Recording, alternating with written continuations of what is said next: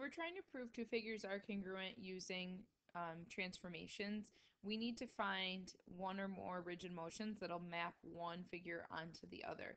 So remember, rigid motions are your translations,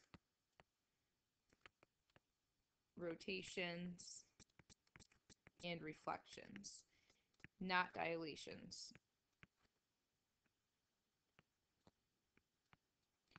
So our goal here is to decide if there's one or more rigid motions that occurred that will take one figure exactly onto the other. So in this first example, which specific rigid motion could be used to prove the triangles are congruent? So I'm going to start with triangle EFG, so I'm going to call that number one, and I'm going to decide how do I take that and map it onto JKL. So when you look at this, there's a couple strategies. One of them is to look at the orientation. So that deals with the order of the letters.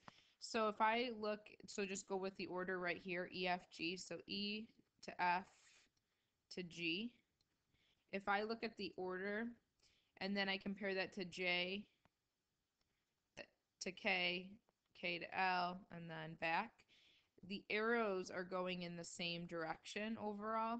So that means since the arrows are going in the same direction, we say it's the same orientation. The orientation didn't change. The order of the letters stayed the same.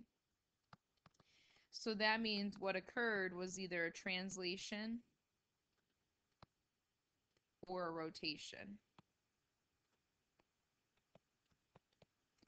If the orientation changed, then that means a reflection occurred. So we know that there's not a reflection that occurred because the orientation stayed the same. So that means when I look at this, I have to decide, did the figure turn or did it just move? Well, when I look, E's facing up and then over here it's now, it turned. So that tells me that I have to have a rotation. So basically what you want to look at is just compare a couple of the points. So if I compare looks like G and K correspond, or G and L correspond because they're in the same order. So if I look at 0, 0, and I look at G to L, I had to move 90 degrees. I had to turn 90 degrees. Same thing is going to apply if I'm looking at angle or point F to point K.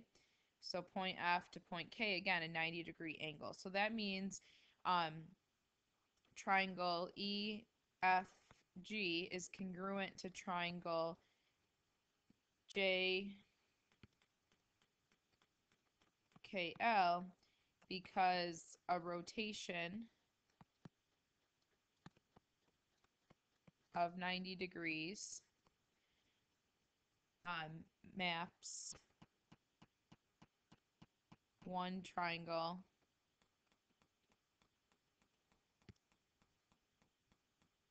onto the other.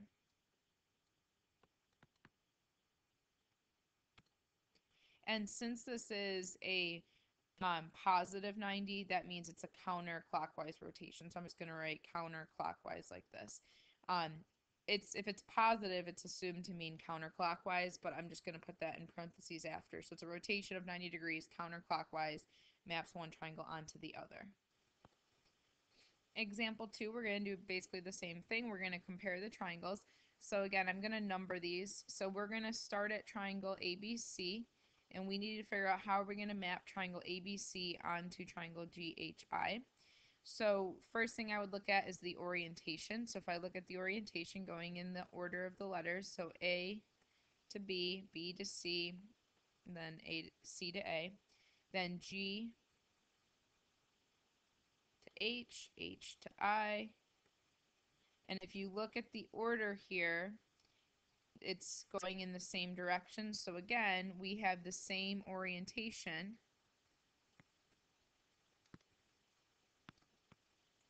So that tells me that a translation or a rotation occurred. So you have to ask yourself, did it slide or did it turn? And when I look, the only difference between the two is that one just moved on to move down. So I know that it was a translation that occurred. And when I look for the translation, if I just take two points that correspond, so let's say B to H, if I look how I moved from B down to H, oops, um, to the coordinate. I was looking at the letter. So B to H. So you had to move one, two, three. So right three, and then down one, two, three, four, five. So right three, down five works for that. If I compare C to I, same thing. Right three, down five. A to G, because A and G correspond. Right three, down five also works. So I know it's a translation of 3, negative 5. So I'm going to just say that they're congruent. So triangle ABC is congruent to triangle GHI because a translation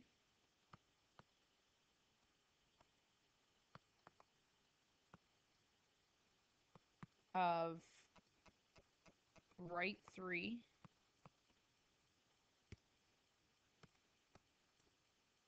and down 5 moves or maps one triangle onto the other.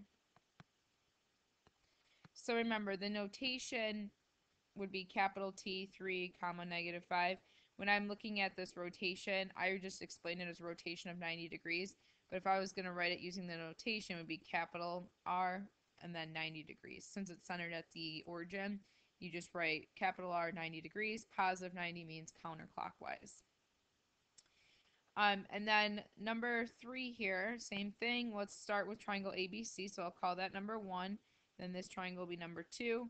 Check out the orientation, see if it's the same or see if it changes. So A to B, B to C, then back to A, T to K, K to H, and then back to T. Again, the arrows go in the same direction, so it's the same orientation.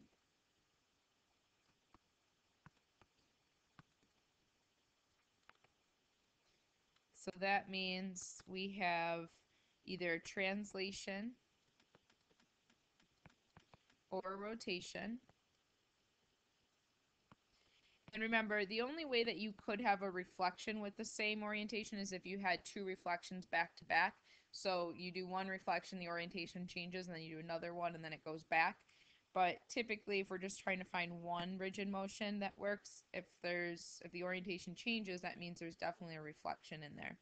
Um, and if it stays the same, that means it's got to be a translation or rotation, unless you're looking for two reflections. So in this case, when I compare these, it, there's a definite turn. It doesn't just slide one from one triangle to the other. So if we look at our, let's just compare two points, A and T, um, if I use 0, 0 as the center again of rotation, you can see that there was a 90 degree angle that you would have to go, you would have to turn um, to go from point A to point T. Same thing with C onto H. Same thing with B onto K. And if I'm going in, if I'm going from triangle 1 to triangle 2, it's going to be a counterclockwise rotation, which again means it's going to be a positive 90. So I'm going to say triangle ABC is congruent to triangle TKH because a rotation of 90 degrees counterclockwise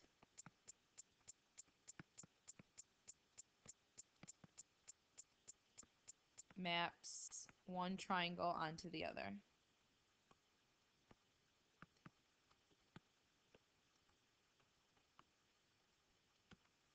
So these are your very informal proofs, but these are the kinds of proofs that you would write for um, transformations using rigid motions to prove that one figure maps onto the other, which proves that they're congruent if you're only using rigid motions.